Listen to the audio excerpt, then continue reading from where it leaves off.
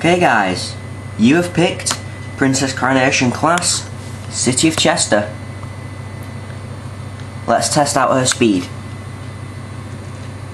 How will she compare to the other locos? Being streamlined should give her an edge on speed. However, that might not be the case.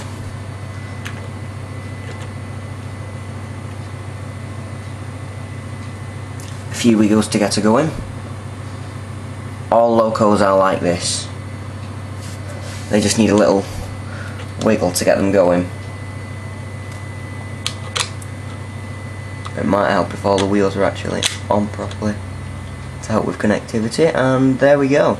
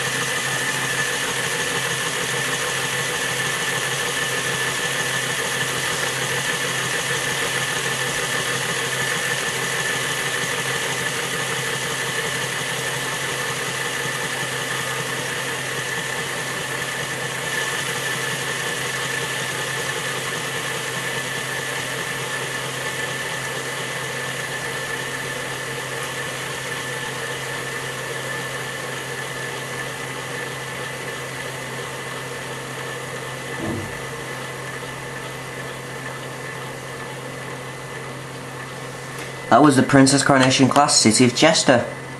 What do you think on her speed? Is she as fast as the others?